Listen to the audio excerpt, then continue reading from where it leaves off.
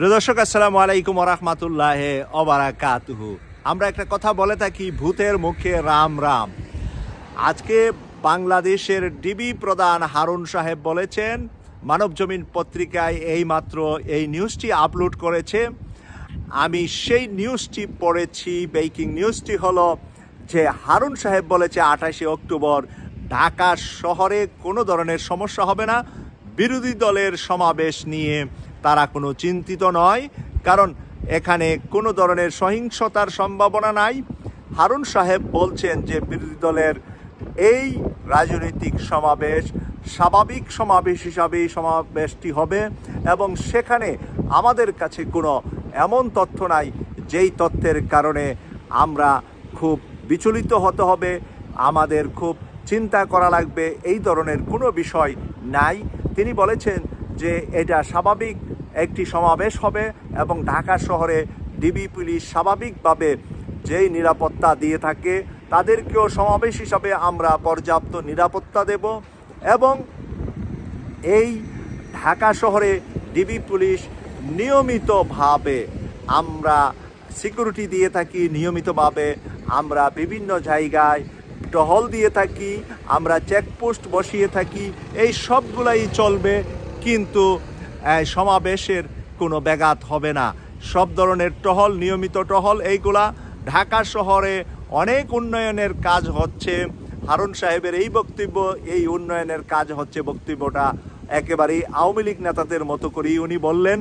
আওয়ামী লীগ নেতারা যেরকম সবসময় উন্নয়নের মহাসড়ক, উন্নয়নের মহাসাগর নিয়ে কথা বলে, উনিও বলছে ঢাকা শহরে অনেক উন্নয়ন চলছে, সেই উন্নয়নের ব্যাহত যাতে না ঘটে, এই উন্নয়ন যাতে বন্ধ না হয়ে যা, এই উন্নয়নের যাতে কোনো ক্ষতি না হয়ে যা, সেই জন্য ডিবি আরও বেশি করে তারা চেকপোস্ট বসাবে এবং আরও বেশি করে টহল দিবে, কিন্তু এতে বিরোধী দলকে কোনো বাধা দিবে না। চেকপোস্ট, এখানে টহল আর চেকপোস্ট। চেকপোস্টটা কেন বসানো হয়?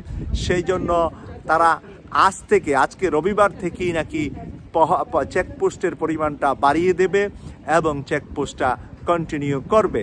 তাহলে আজকে মাত্র বাইশ তারিখ। বাইশ তারিখ থেকেই আঠাইশ তারিখের জন্য নিরাপত্তা আর চেকপোস্ট তারা বসিয়ে দিচ্ছেন। এই জন্যে আমি শুরুতে বলেছিলাম, বুথের মুখে রাম রাম। যেই বিএনপি নেতা জয়নাল আবদিন ফারুককে প্রচণ্ডভাবে মেরে উনি টাইম লাইনে এসেছিলেন এবং আওয়ামী লীগের চোখে আওয়ামী লীগের বন্ধু বা আওয়ামী লীগের বিশ্বস্ত ব্যক্তি হয়েছিলেন।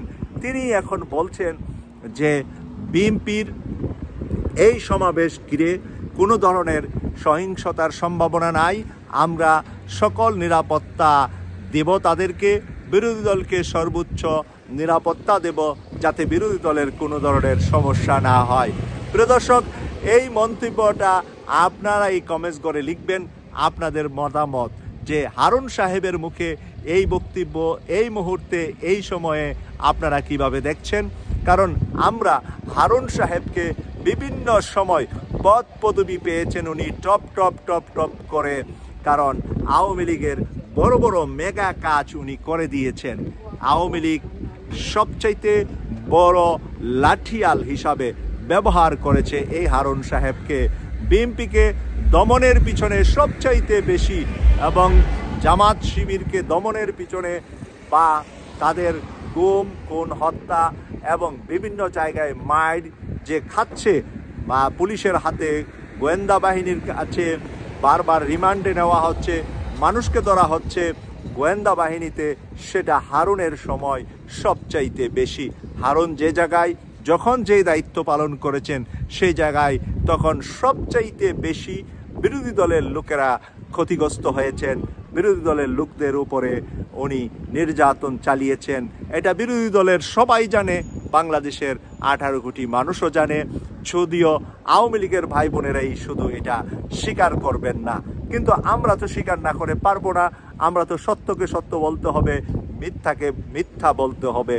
আমরা পানিকে পানি বলব, আগুনকে আগুন বলব, অন্ধকারকে অন্ধকার বলব, আলুকে আলু বলব।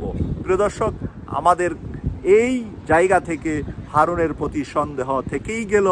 সে এই রকম নিরাপত্তা দেওয়ার জন্য অ্যাডভান্স ঘোষণা দিয়ে আবার কোন টাইম লাইনে সে আসতে চা আঠাশে অক্টোবর।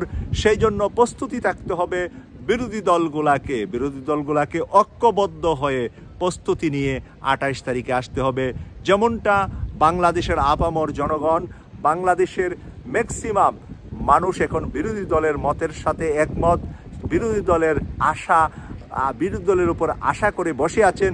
সেই মানুষগুলা চায় জামাত এবং বিএনপি যৌথভাবে যেন আঠাশ তারিখ মাঠে নামেন এবং তারা যেন বাংলাদেশের জনগণকে সুন্দর এবং একটি ভালো আশার ফসল তারা দিতে পারে, যে তত্ত্বাবধায়ক সরকার হোক অথবা সরকার যে কোনোভাবে হোক। পতনের মাধ্যমে নতুন সরকারের কাছে, অস্থায়ী সরকারের কাছে ক্ষমতা যাবে, তারপরে নির্বাচন হবে, আর এখানে সকল দল আওয়ামী লীগ সহ সবাই অংশগ্রহণ করবে। যার যার মার্কা নিয়ে, যার যার প্রতীক নিয়ে কেউ কাউকে বাধা দিতে পারবে না। এই প্রত্যাশা রেখে আমার বিশ্লেষণটা এখানে শেষ করছি। ইউরোপের সুন্দরতম দেশ মাল্টা থেকে।